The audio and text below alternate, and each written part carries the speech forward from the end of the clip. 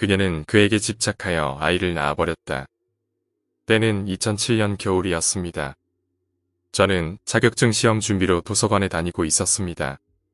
추운 겨울인데도 불구하고 사람들은 자신의 꿈을 이루기 위해 다들 열심히더군요. 사실 저는 공부하는 거리가 먼 편인데 그래도 먹고 살려면 뭐라도 해야 할 것 같아서 자격증 공부를 하고 있었습니다. 꾸준히 도서관에 출근해 공부하다 보니 매일 보는 사람들과 안면이 좀 생겼고 그러던 와중에 경찰 공무원을 준비하는 형님을 한 분 알게 되었습니다.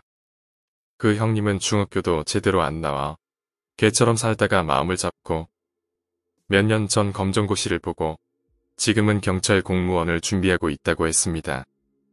저보다 3살 위의 형님이었고 공부나 인생적으로 배울 점이 많다고 생각이 들어 저는 곧잘 그 형님을 따랐습니다. 그러던 중 도서관에서 또 다른 누나 한 사람을 알게 되었습니다. 그 누나는 그냥 평범한 대학을 다니다 휴학하고 구급 공무원 준비 중이라고 했습니다. 불침성도 좋고 밝은 성격의 소유자라서 금세 친해지더군요.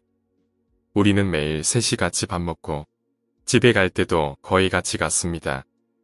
주말에는 술도 한잔하며 서로의 애원을 털어놓기도 했었지요. 저는 사회에서 만난 사람들이지만 이 두 사람이 무척 소중하게 느껴졌고 나중에 다들 성공해서 이렇게 계속 만났으면 좋겠다라고 생각했습니다. 그렇게 시간이 지났고 봄이 오고 2월이 되었습니다. 형님은 곧 있을 시험 준비 때문인지 도서관의 모습이 보이지 않더군요. 그때 저도 조금 나태해지면서 도서관을 잘 안 나가게 되었습니다. 그러던 중 날씨가 무척 추워 집에서 귤이나 까먹고 있는데 구급 준비를 하던 미영 누나에게서 연락이 왔습니다. 요즘 형진 오빠하고 연락돼. 저는 연락은 안 되지만 워낙에 열심히인 사람이고 시험이 얼마 안 남아 잠수 타고 고시원에서 공부하고 있을 거라고 말했습니다. 그렇구나. 알았어. 근데 넌 요즘 왜 안 나와? 게을러 터져가지고 말야. 근데 오빠 연락되면 나한테 말 좀 해줘. 전할 말이 있는데 통 연락이 안 되네. 저는 알았다고 답하고 끊었습니다. 대수롭지 않게 생각했습니다. 그렇게 형진이 형 시험이 끝났고 저는 그때서야 다시 연락했습니다. 하지만 여전히 연락이 되질 않았습니다. 시험을 잘 못 봤나? 라고 생각하는 찰나에 미영이 누나에게 연락이 왔고 저는 여전히 연락이 안 된다고 말했습니다. 그렇게 며칠이 지나가고 어느 날 아침에 일어나 보니 핸드폰이 꺼져 있더군요. 진동으로 해놓고 잠들었는데 켜보니 그때부터 폭풍 문자와 부재중 전화가 와 있더군요. 전부 다 미영이 누나였습니다. 문자의 내용은 대충 형진이 형 고시원이 어디냐? 다른 연락할 방법 없냐? 그 형의 가족은 어디 사냐? 그 형의 여자친구 전화번호가 뭐냐? 이런 내용이었죠. 이상한 낌새를 눈치챈 저는 그 누나에게 전화해서 자초지정을 물었어요. 하지만 대답을 안 해요. 만나서 얘기하자 그래도 싫다더군요. 그냥 다짜고짜 자기가 묻는 말에만 대답하래요.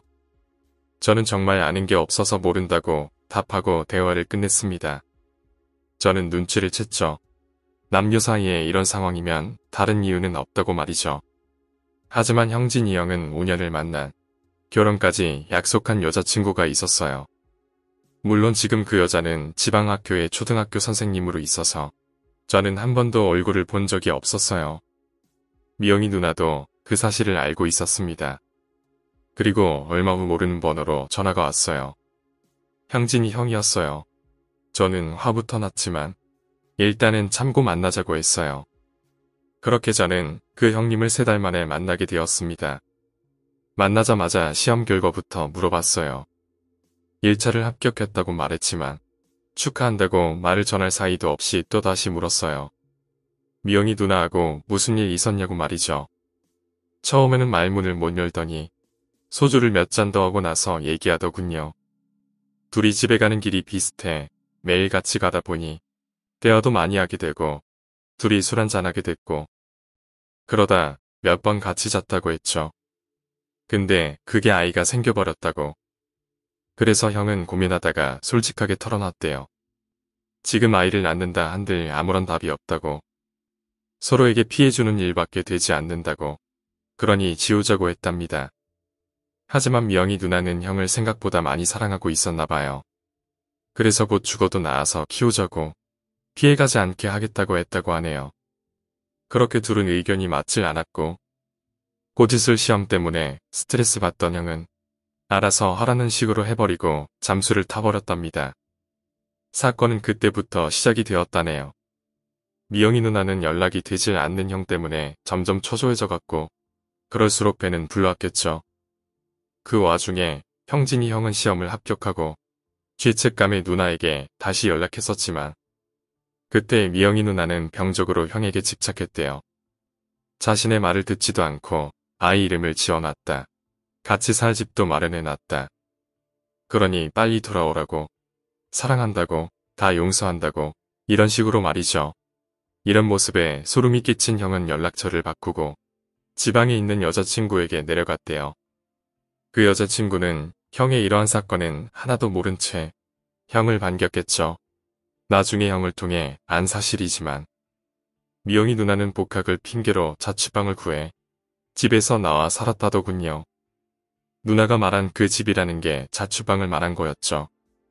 덕분에 부모님에게는 걸리지 않았나 봐요. 그렇게 병적으로 사랑할 거 왜 부모님에게 말하지 않았는지 이해가 되질 않지만 말입니다. 그렇게 형은 그 해 여름에 2차 시험도 합격을 했고 그렇게 원하던 경찰복을 입을 수 있었어요. 그리고 여자친구와 결혼도 하게 되었지요. 인생의 행복한 순간들이 계속해서 펼쳐져 갔어요. 미영이 누나와의 일들은 완전히 잊었는지 결혼식장에서 형의 표정은 정말 행복해 보이더군요. 결혼식에 많은 하객들 사이에서 그녀의 얼굴을 봤어요. 미영이 누나였어요. 누나가 어떻게 여길 왔는지 전 모릅니다. 누나는 숨어서 형을 계속 지켜보고 있었나 봐요. 아무튼 무슨 일이 있었는지 모르지만 누나는 얼굴이 많이 상해 있었어요. 누나는 절 발견하고는 제 곁으로 왔어요. 제가 잘못한 건 하나도 없는데 온몸이 경직되더라고요. 하지만 누나는 나를 무척 반갑게 반겨줬어요. 환하게 웃으면서 잘 지냈냐고 말이죠. 누나의 밝은 얼굴을 보고 나니 그제서야 긴장이 조금 풀리더군요. 그리고 사진 촬영 시간이 되었죠.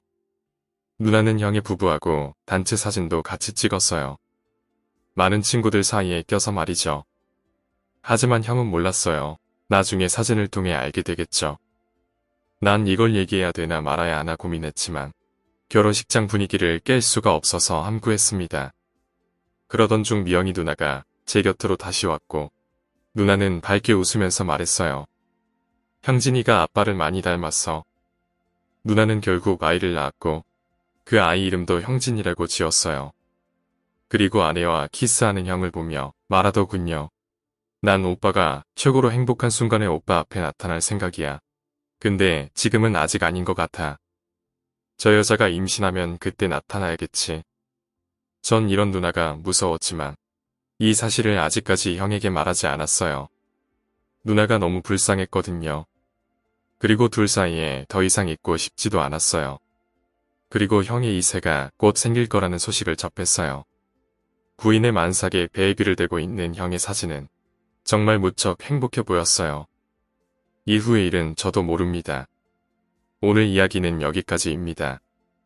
오늘 이야기가 재미있으셨다면 구독과 좋아요, 댓글 부탁드립니다. 댓글은 저에게 큰 힘이 됩니다. 감사합니다.